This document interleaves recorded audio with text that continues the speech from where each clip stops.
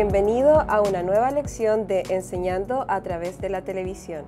Mi nombre es Miss Hidalgo y trabajo en Broad River Elementary.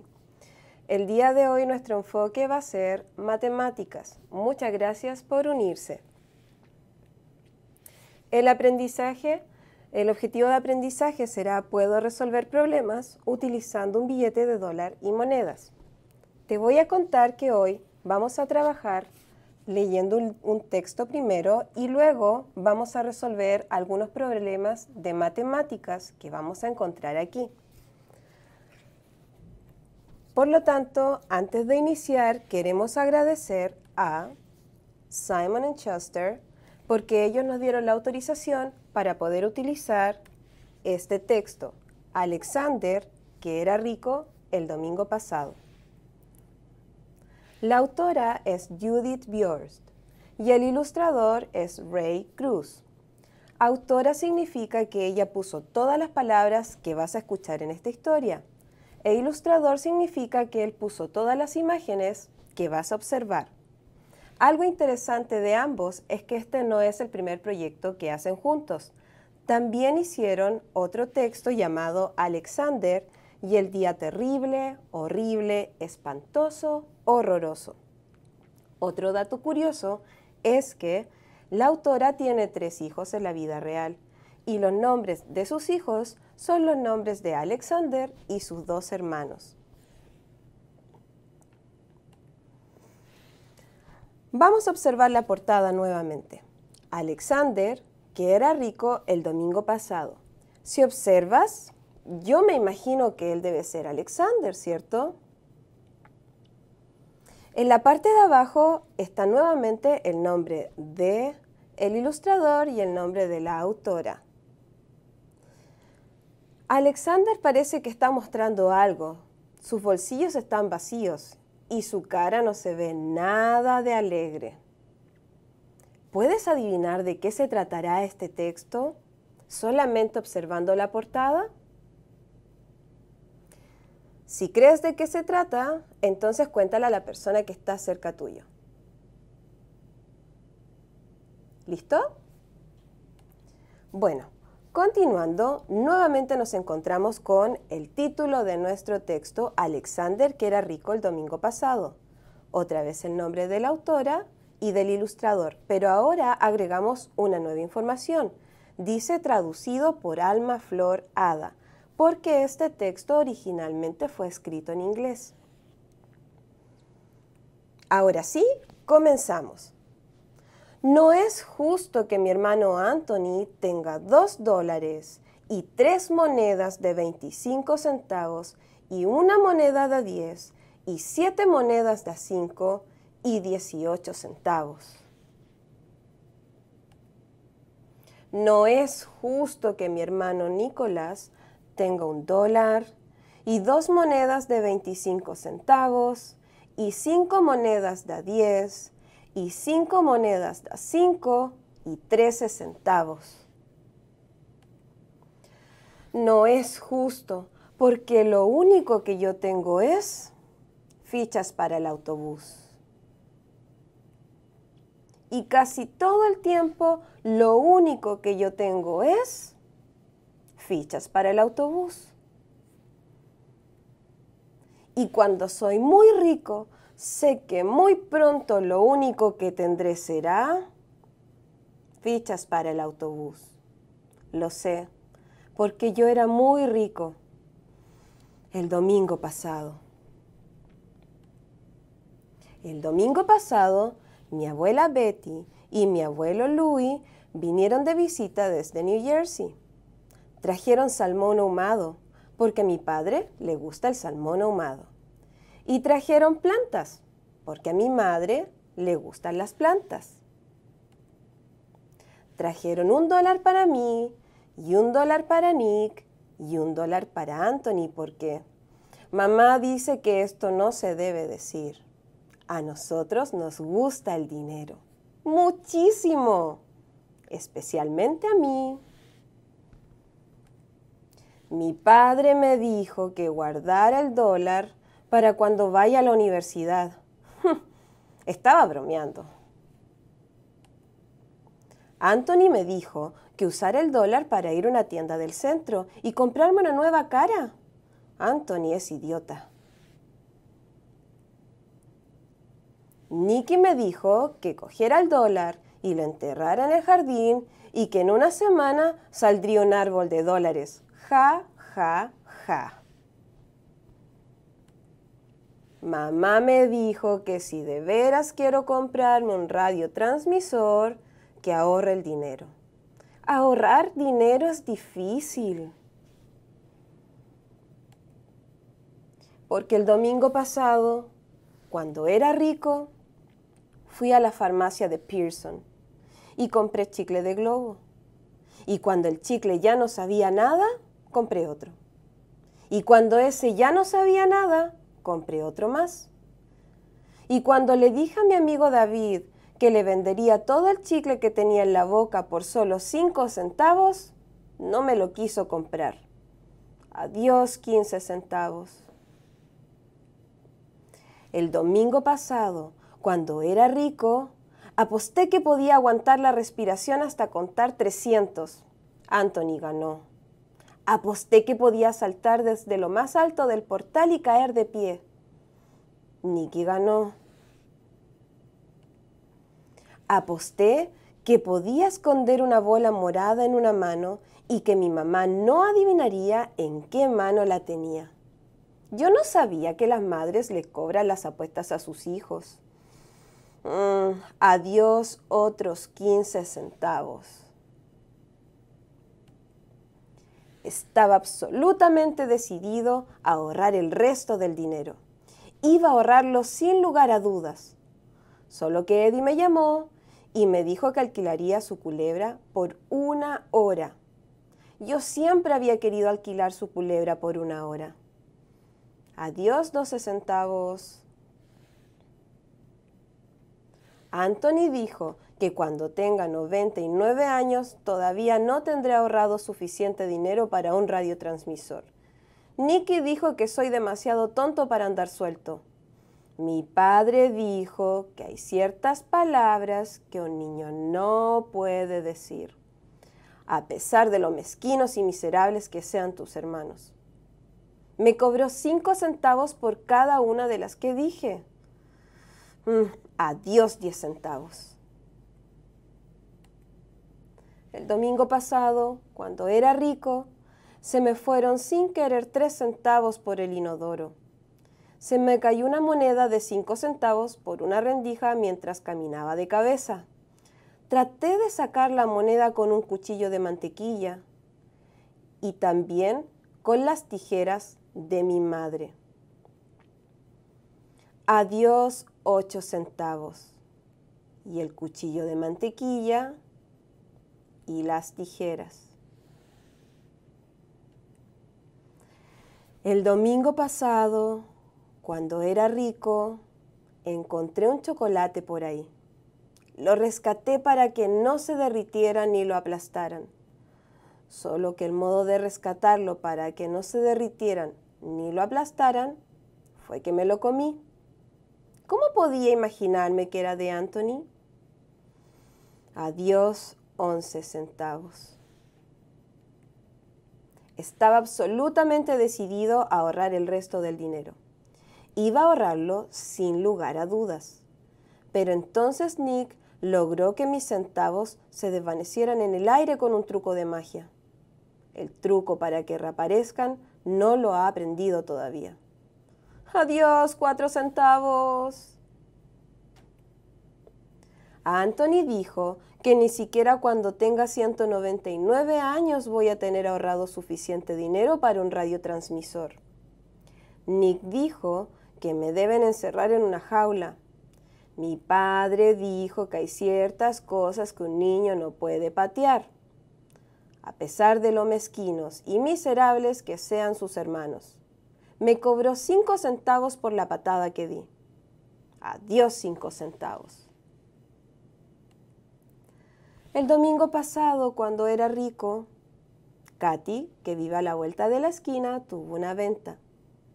Fui decididamente solo a mirar. Vi una vela media consumida. y yo necesitaba esa vela.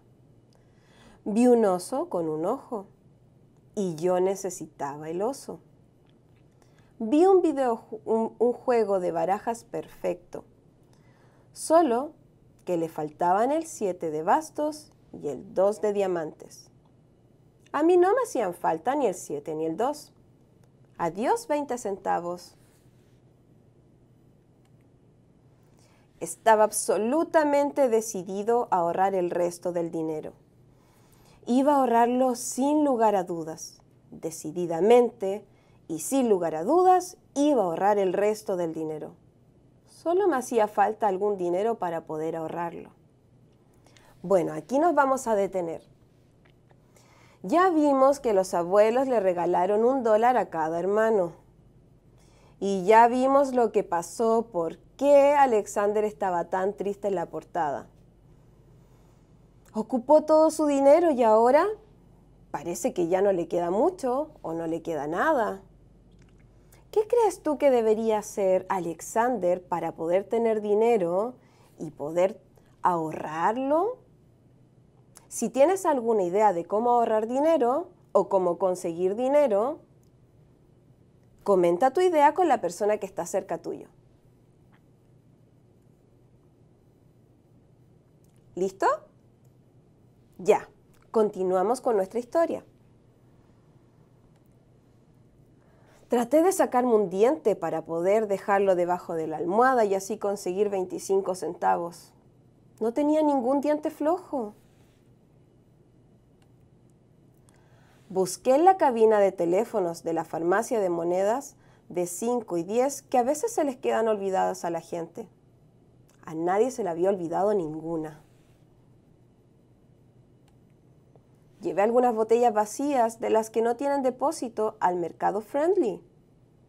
En el mercado friendly mm, no fueron muy buenos amigos.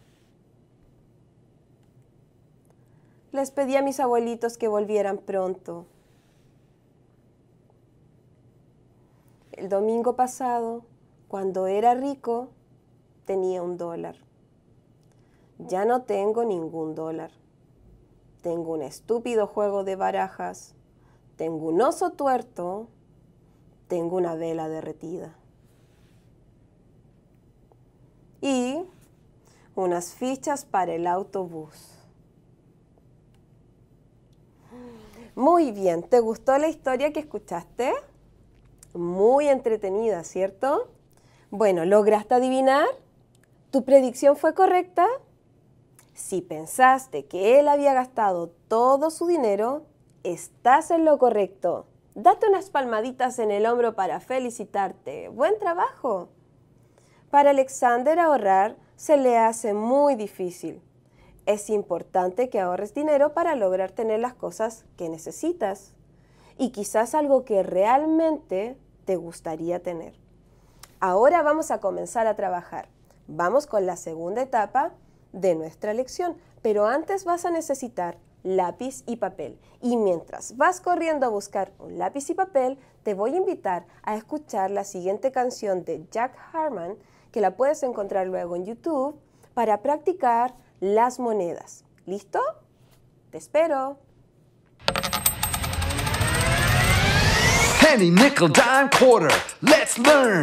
Penny, nickel, dime, quarter. Let's learn. Money, money, money in my pocket. Money, money, I know how to count it. Money, money, money in my pocket. Money, money, I know how to count it.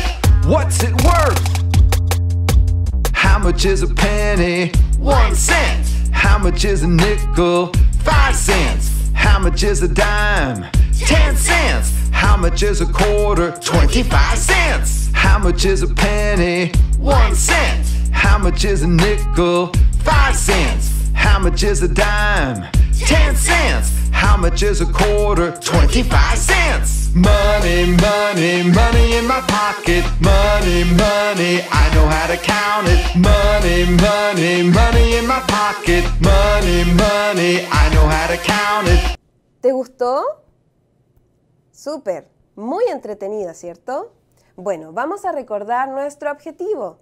Puedo resolver problemas utilizando un billete de dólar y monedas. Aquí tenemos las monedas y el billete de dólar. Lo primero que quiero que veas es el símbolo dorado que está acompañando a los centavos. Ese va después del número y ese simboliza centavos, que es distinto al del dólar, porque el del dólar es el que vemos abajo y ese va antes del número. La primera moneda es un centavo. Un centavo. También la conocemos como penny. La siguiente moneda es de 5 centavos. La de 5 centavos se llama nickel. La que sigue es la de 10 centavos. Y 10 centavos se llama dime. Finalmente, la de 25 centavos se llama quarter. El más grande que está en la parte de abajo es nuestro dólar. Y un dólar equivale a 100 centavos. Mira, vamos a volver un poco a nuestra historia porque lo que vamos a hacer es descubrir quién logró ahorrar más dinero, cuál de los dos hermanos de Alexander logró ahorrar más dinero. Vamos a iniciar con Anthony. No es justo que mi hermano Anthony tenga dos dólares y tres monedas de 25 centavos o tres quarters y una moneda de 10 o un dime y siete monedas de 5 o siete nickels y 18 centavos o 18 pennies. Quarters, dime, nickels, pennies. Ahora vamos a contar cuánto dinero logró juntar Anthony. Tenemos 1 y 2 dólares. 2 dólares. Contemos los, quarters. 25 más 25 son 50, más 25 son 75. 2 dólares más 75 son 2 dólares y 75 centavos. Ahora le vamos a sumar nuestro dime, que son 10 centavos. 2 dólares y 75 centavos más 10 centavos son 2 dólares con 85 centavos. Muy bien. Seguimos con los nickels. Estos van de 5 en 5. 5, 10, 15, 20, 25, 30, 35. 2 dólares con 85 centavos más 35 centavos es...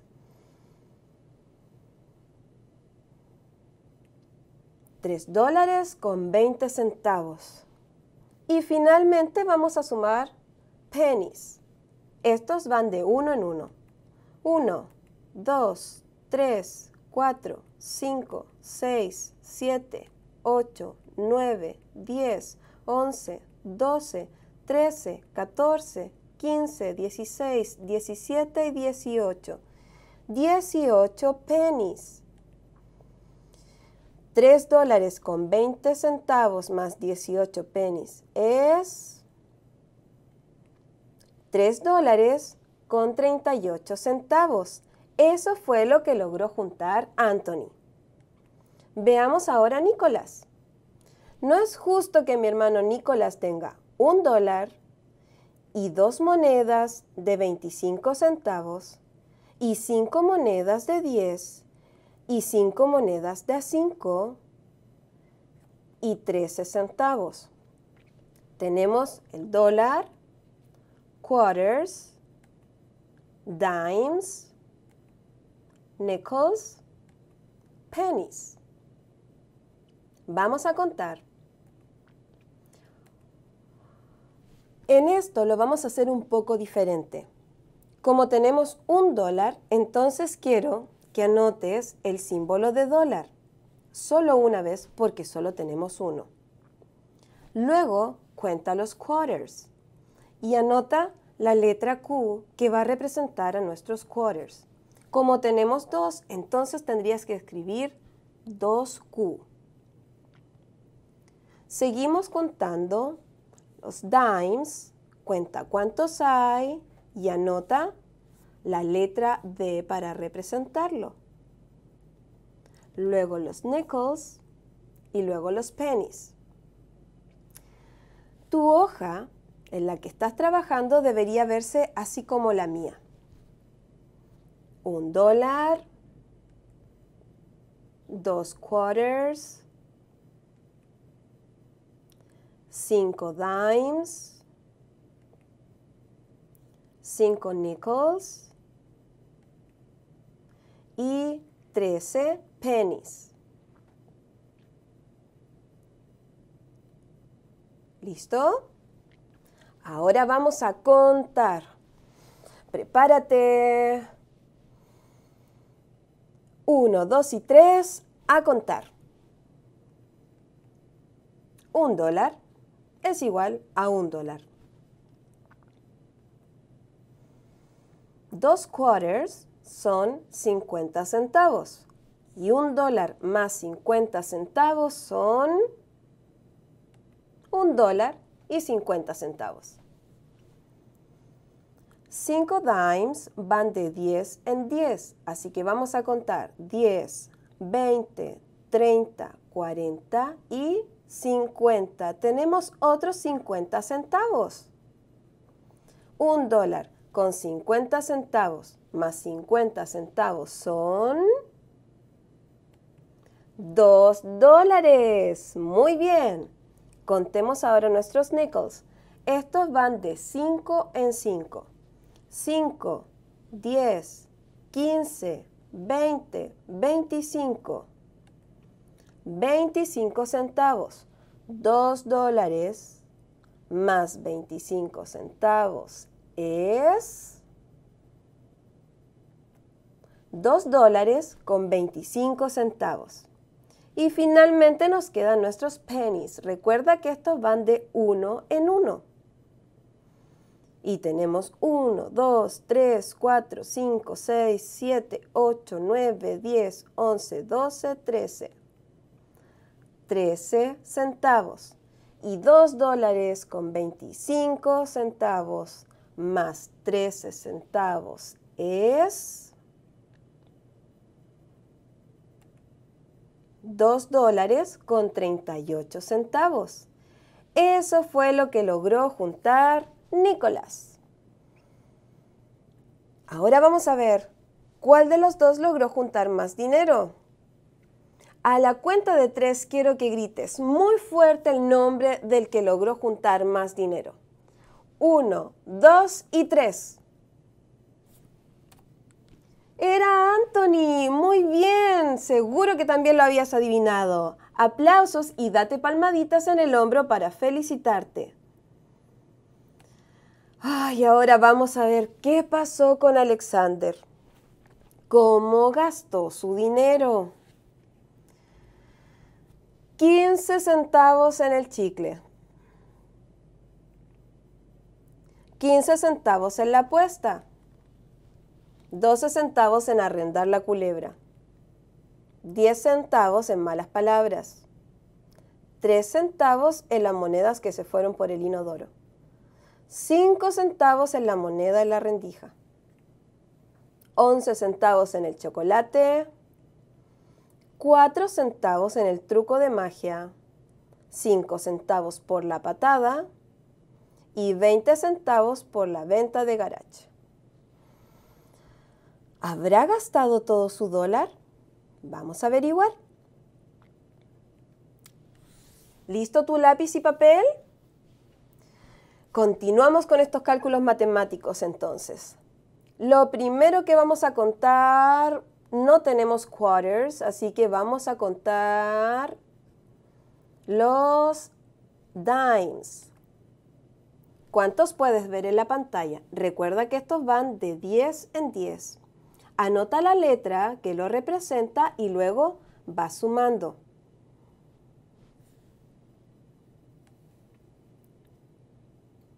Son 7, 7 dimes. Y 7 dimes, luego seguidos por Vamos a contar ahora nuestros nickels. Los representamos con la N. 4. 4 nickels. Y finalmente vamos con los pennies. Cuenta cuántos hay, lo representamos con la P.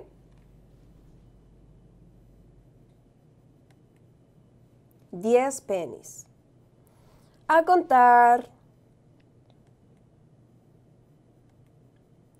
70 centavos más nuestros nickels. Los nickels van de 5 en 5. Muy bien. Y juntos suman 90 centavos. A esto le vamos a sumar nuestros pennies de uno en uno. 90, 91, 92, 93, 94, 95, 96, 97, 98, 99 y 100. 100 centavos, que es lo mismo que un dólar. Ay, Alexander, gastó todo su dinero. Bueno, antes de finalizar vamos a repasar entonces el nombre de estas monedas y su valor. La de un centavo se llama penny. La de cinco centavos se llama nickel. La de 10 centavos se llama dime y la de 25 centavos se llama quarter. Y finalmente el más grande de esta familia es nuestro dólar. No olvides que un dólar equivale a 100 centavos y que el símbolo del centavo va después del número, en cambio el símbolo del dólar va antes del número. Para los padres, no olviden leer, leer, leer con sus hijos. A través de la lectura podemos desarrollar distintas habilidades con ellos. Relacionen todas las historias con la vida real para que logren tener un significado verdadero en los niños. Utilicen el dinero para poder practicar el conteo. En estos tiempos es bueno primero que lo desinfecten y luego se lo pasen a los niños para poder jugar. Jueguen a la tienda en casa, vendiendo productos que están al alcance de ellos. O pueden hacer el dinero con papeles, con cartulinas, usen su creatividad. Importante es que puedan practicar el conteo de 5 en 5, de 10 en 10 y para eso nuevamente les recomendamos los videos de Jack Hartman que pueden encontrar en YouTube. Siempre que utilicen los aprendizajes en conversaciones cotidianas, van a ser más significativos para sus hijos. Muchas gracias por haber participado nuevamente en esta lección de Enseñando a través de la televisión. Nos vemos en una siguiente oportunidad.